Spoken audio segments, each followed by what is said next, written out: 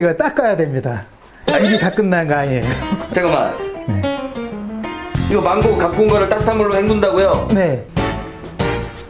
망고 표면에 있는 각종 균 제거를 위한 세척 작업을 실시합니다. 물에서 씻고 나오니까 정말 반짝반짝해졌죠. 아, 이제 망고도 목욕까지 다 했고 이제 박스에다 담으면 되는 거 아니에요? 박스에다가. 네, 예, 그렇지 않습니다. 여기 이 중에도 비상품이 있습니다.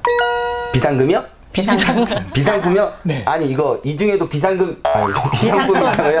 아니 아 놀라가 이거 다 좋은 거 아니에요 이거 다? 아니 안 그렇습니다. 그러게요. 예, 이것도 비상품인데. 아 이게 비상품이에요? 예. 이게 에이 이게 무슨 비상품이에요 이거? 이게 조금 점이 박혀 있지 않습니까? 네. 놔두면은 그 더 뚜렷하게 나타나고. 뚜렷하게 나타날 수가 그렇구나. 있거든요. 저희는 아주 조금 흠이 있는 거는 아예 시장에서 격리를 시킵니다. 그래서 최고의 상품만 시장으로 출하하기 때문에 어느 정도 한 거는 그 비상품으로 빼고 출하를 합니다. 야 그렇군요. 색깔이 이쁘죠? 최고의 상품만을 선별해 출하한다는 소신으로 농사를 짓고 있는 고범정 윤금양 부부입니다. 고품질 망고인 만큼 황금 망고는 일반 망고보다 1.5배 정도 높은 가격에 출하되고 있는데요.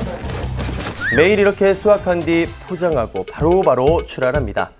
열심히 일하는 사이 우리 어머니 또 뭔가를 분주히 준비하고 계시네요. 아, 딱 보시니까 알겠죠. 주스. 바로 황금 망고 주스를 야. 우리 박성원 리포터가 맛보는 건가요? 부럽다 정말. 그 맛은 어떨까요?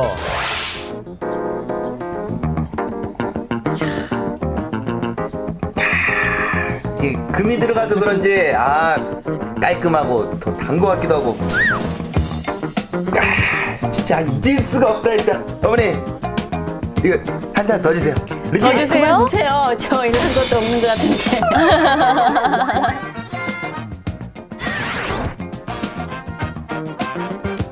지금이 황금 망고를 맛볼 수 있는 적기라고 합니다.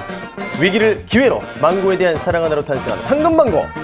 황금 망고 수확을 도와드리면서 열심히 일하는 진정한 농부의 땀내음도 느낄 수 있는 의미 있는 시간이었습니다.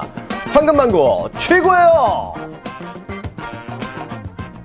아, 잘 봤습니다. 야, 황금망고였습니다. 그러니까 사람이 먹기 쉽지 않은 이 금가루, 금물을 먹고 자란 황금망고 어떤 맛일까 진짜 궁금한데 저는 화면 보면서 궁금한 게 또 있는 게요. 황금망고를 먹어서 박성원 리포터가 장성규 아나운서가 된 건 아니죠? 아, 그렇죠, 그렇죠. 어우, 갑자기 굉장히 당황스러운 질문을 전해주시는데, 네. 그만큼 이 황금망고가 좀 특별하다는 어, 말씀이신 것 같아요.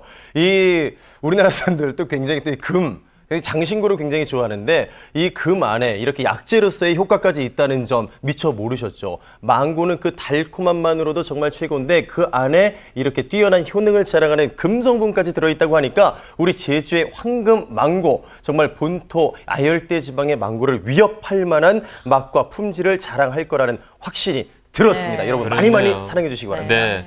어, 화면 보니까 황금망고가 탄생하기까지 많은 우여곡절도 있었지만은 수확하는 것도 또 만만치가 않습니다. 이 또 폭염 속에 아. 어, 하우스 안에서 한 달 정도를 수확을 해야 된다고 하니까 얼마나 네. 고생이 많으시겠어요. 하지만 예, 도민의 열정으로 탄생하는 황금망고입니다. 그 열정에 정말 박수를 보내드리고 네. 싶고요. 앞으로 황금망고가 어, 제주를 대표하는 또 하나의 작물이 되기를 기대를 해보겠습니다. 아주 신선한 소식이었습니다.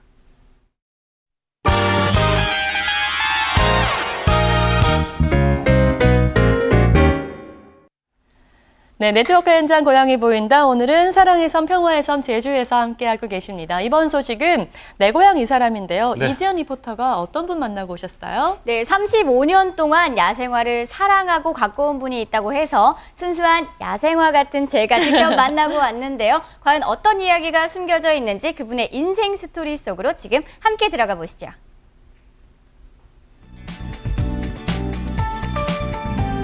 누구 하나 관심을 가져주지 않지만 스스로 피고 지는 야생화. 30년이 넘는 세월 동안 이 야생화의 매력에 빠져 제주에 둥지를 튼 이가 있습니다. 그녀의 특별한 인생 스토리 지금 시작합니다. 제주시 한경면 저지리에 자리한 한 야생화 박물관. 이곳은 오늘의 주인공이 10년이 넘는 세월 동안 공을 들여 만든 야생화 전문 박물관입니다.